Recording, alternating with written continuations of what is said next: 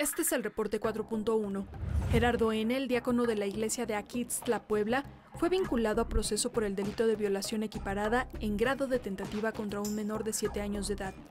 El hombre de 28 años de edad fue asegurado desde el 26 de octubre pasado por vecinos de la comunidad tras intentar agredir a la víctima, pero fue el 3 de noviembre cuando el juez de control también le impuso prisión preventiva oficiosa como medida cautelar hasta que concluya la investigación complementaria.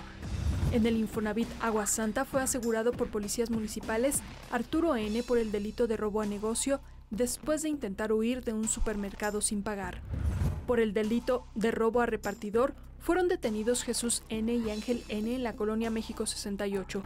Durante su detención les fueron aseguradas un arma y un objeto punzocortante. Además, fue recuperado dinero en efectivo y un teléfono celular. Por el delito de robo fue detenido Francisco N. en la Junta Auxiliar La Resurrección, quien tenía en su poder diversa herramienta.